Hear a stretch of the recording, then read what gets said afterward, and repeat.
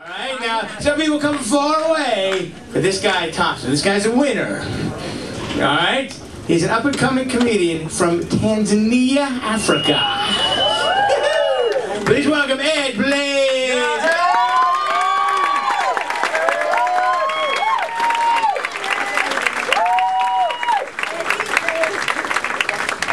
You guys good? Yeah.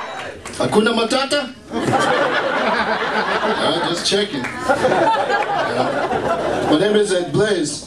I'm from Tanzania, Africa. Um, I stopped using my African name um, when I moved to America because I find out my name is just a bunch of like letter suggestion. You know, it's like K, H, apostrophe A, silence B. It's like my whole name is like. that's how you call. That's how you call my name, like you know. so I was like, uh, you know, time to use that blaze.